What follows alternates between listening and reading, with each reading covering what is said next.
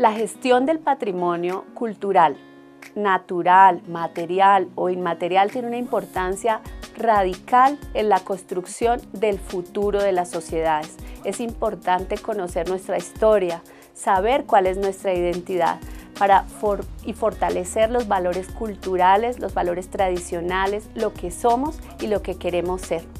Es muy importante que nosotros como pueblo colombiano conozcamos quiénes somos y cómo queremos desarrollarnos en estos momentos en que todo es tan fluido y en que todo evoluciona tan rápido, donde los medios de comunicación nos impactan de muchas formas y donde es importante entender de dónde venimos y para dónde vamos. Todo esto es lo que nos facilita entender eh, qué es el patrimonio y cómo se gestiona, cuáles son los bienes que podemos patrimonializar, cuáles no cuáles son los valores que tenemos los colombianos, cuáles son los valores culturales que tiene Uniminuto, cuál es el sello de Uniminuto para dónde vamos y quiénes somos. Todos esos temas los dialogaremos en el Encuentro Internacional de Patrimonio Cultural que se celebrará el 5, 6 y 7 de septiembre de este año.